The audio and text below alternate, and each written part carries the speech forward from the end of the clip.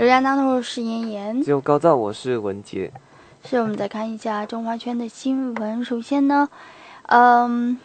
你要吃东西的话，一定要小心，然后不要吃一些野味的，不要多吃一些野味的东西，也不要多吃一些这个比较生的东西，因为有你有容易患上一些寄生虫的病啊。呃，这里有一个例子，就是在中国贵州的贵阳花溪区，有一名姓刘的女子呢，发现她体内有一条虫。很可能就是爱吃野味的生活习惯有关系呢，因为呃，根据这里的报道有说到，就是她去年就是开始发现自己的右侧乳房呢长出了这个肉瘤，但是一直未没有注意到这个地方的。但是呢，因为这个肉瘤呢，肉瘤呢就是越来越大，然后出现红肿的情况，然后还有胀痛的这个症状。甚至呢，有时候感觉有东西在这个体内游走的，所以呢，他开始非常非常的担心，然后他就到这个医院去呃求诊的。怎么知道发现呃他的这个乳房那边呢，就是有一条，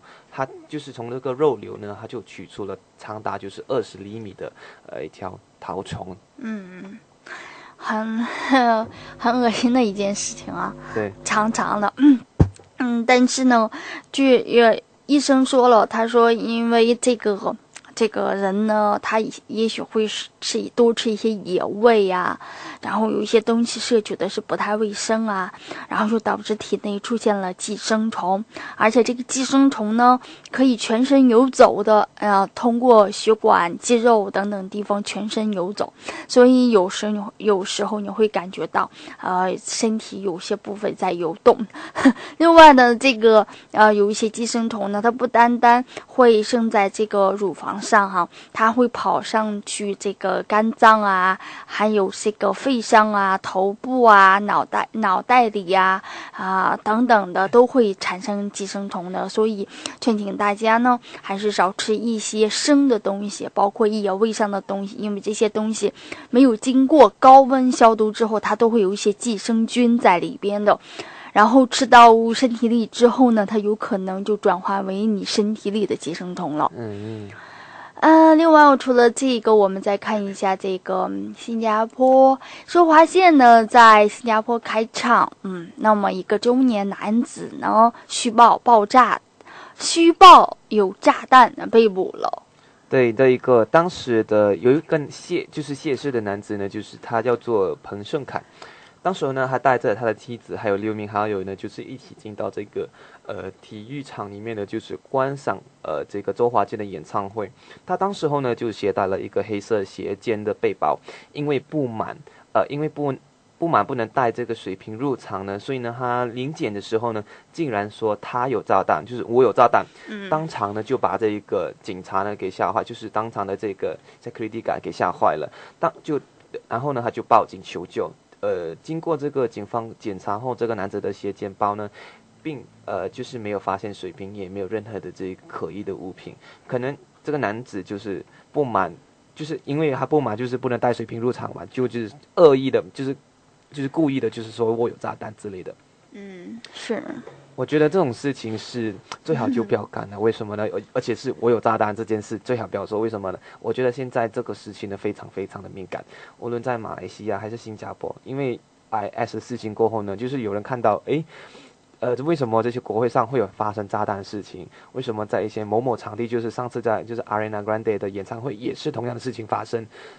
我觉得在演唱会也最好不要随便说出这样恶意。如果是没有这种事情发生，也不要随便说这样的话，因为的确会让人带来恐惧感啊，然后人害怕的。嗯，是。所以新加坡的警方这方面呢，指该名男子呢是抵触了联合国也就反恐措施条例下的虚报恐怖威胁禁令的罪名下被逮捕了。那么一旦这个男子醉成呢，可面对不超过十万新元，也就是三十万令吉的罚款，或不超过五年的监禁，或两者兼施。那所以呢，在没事儿的情况之下，要少开这种玩笑了。嗯，我们除了这个，我们再看一下中国的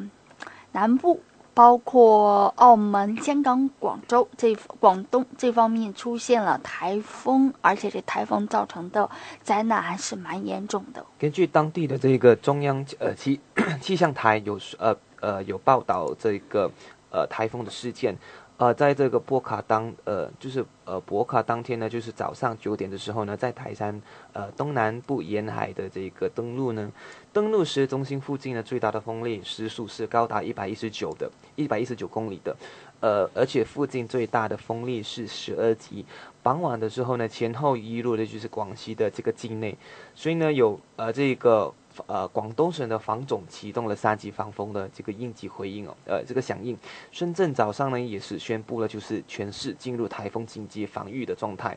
包括了这个珠海、中山、江门还有阳江四区，就是也是要求就是全市停工还有停课的。所以呢，有报道说到这个博客的这个雨量呢是天。天河的三倍，所以呢，当天的早上八点的时候呢，呃，广东大部分的地区，广西中南部、呃，福建南部，还有等等的这些地区呢，都下起了这个大雨，还有暴雨的。嗯，所以呢，这是第二次台风了。第一次台风是天鹅，那么第二次台风是帕卡。那么帕卡的雨量呢是天鹅的三倍，而且它的这个风力也比之前的要大得多了。所以呢，导致了这个广西、广东、福建省还有这个海南岛的东部都部分的地区下起了大雨或暴雨了。呃，之前之前呢，其实在这个呃香港这方面、澳门这方面都严阵以待了。除了天鹅之外呢，还有这个帕卡的来袭。那么狂在狂风暴雨之下呢，香港大部分地区当天早晨啊早晨的时候录得超过一百毫米的雨量。那么，比起周三的时候，天鹅上周周三的时候带来的这个大部分的地区录得的超过五十毫米的降雨量，又多了一倍了。而且呢，多地是进水的。目前，这个受灾最严重的，呃，就是沿海呢，在掀起了三公尺高的巨浪，而且在其中呢，导致了这个八人的受伤。除了这样子的一些情况之外呢，香港和澳门这方面也派了一些船，然后救灾的船，在这个等待及时等等待这样子的一个及时的救助，等等这样的一些事情，可以看到之前啊，我在朋友圈里啊，票圈里看到这个。有在澳门的朋友们，然后他们说三天断水啊，呃，就是没有电也没有水。当时台风确实很严重，而且在学校里的这个水都没有了，所以还需要从这个内陆里边，也就是珠海这方面运进水过来，供以正常的人们的用水。所以在这一场的风暴当中，确实严重的威胁到或者是影响到当地民众的生活了。然后相关的事情也需要进一步的妥善的处理，以及呃完完成灾后的一个一个改善，或者是说供给的协助的工作了。我们再看一下，除了这个呢，我们再看一下新加坡啊，再回到新加坡看一下这个。他们现在新加坡的私招车呢，还有这个德式市场，其实现在已经饱和了，而且呢，现在目前还有四千辆的这个车是无人租用的，所以现在面对这个是这这样子的一个情况，是现在新加坡市场所面对的。呃呃，跟呃过去呢，这个呃迅速扩展车队的这个私造企呃就是车业者呢，就是 Uber。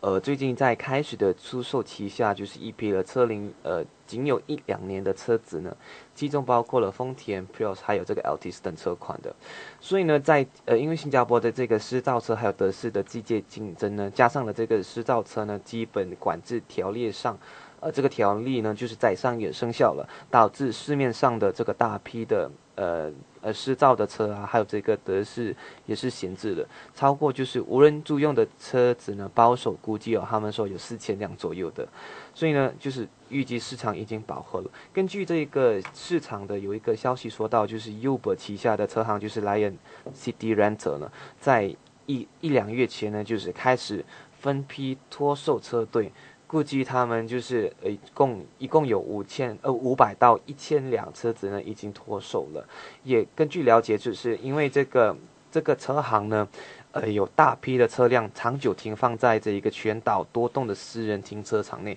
无人租用，所以呢，就导致呢，就是他们必须要。把这些车子都给脱售出去，不然的话，他们就要呃，就是要去负担这些停车费啊、保养费，还有等等租金的这些非常，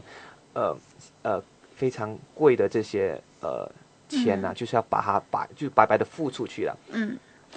嗯，所所以其实市场新加坡的市场也是比较小的。那么这个招车，然后德士市场现在也比较比较饱满了。在此种情况之下，只能出售多余的车辆了。那么出售多余的车辆，又有呃有人愿意去买吗？也是另外的一个疑问。因为在新加坡，呃，购车啊买车是是需要有一定条件的。同时呢，呃，预想买车的人可以买车的人也有他不同。的一种需求，他愿意买这个优博剩下的一些车吗？也是另外的一个 一个一个疑问。那么，在这个新加坡，普通的公共交通还是蛮方便的，你可以从一站坐到另外一站，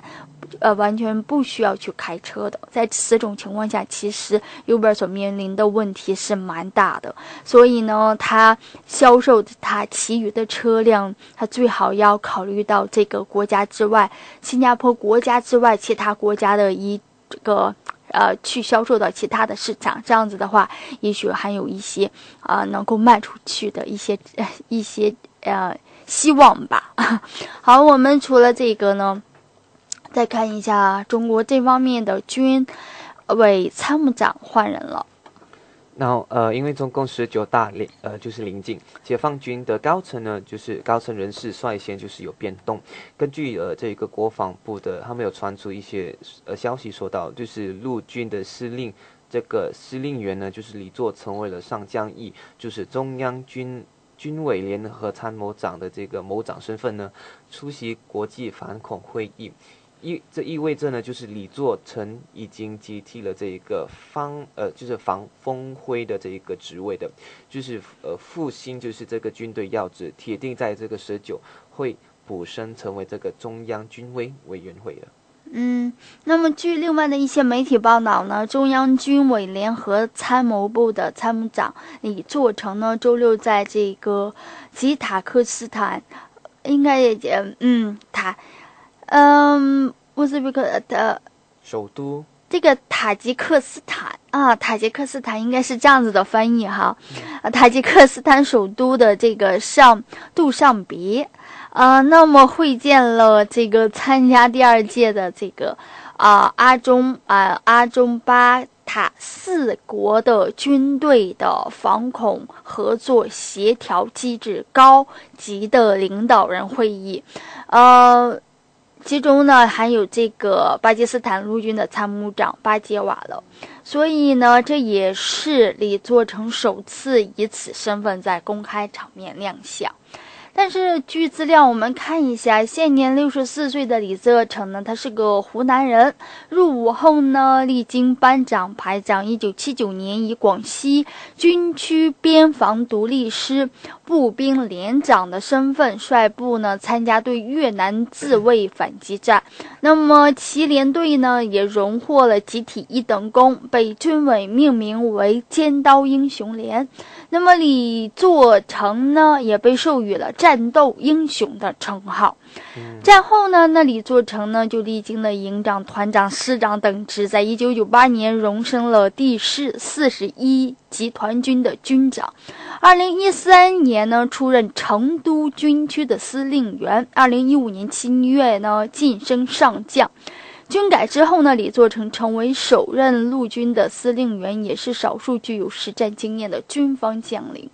这样子的一个任命呢，也可以看到习近平在十九大前夕要换班，有一些其实之前打大老虎啊、小苍蝇抓起来的时候就已经开始逐步的换班了。那么现在军委的参谋长啊要换人，那这件事情呢，其实对于习习近平对于军军军队的掌控，也有助于习近平对于军队的掌控了。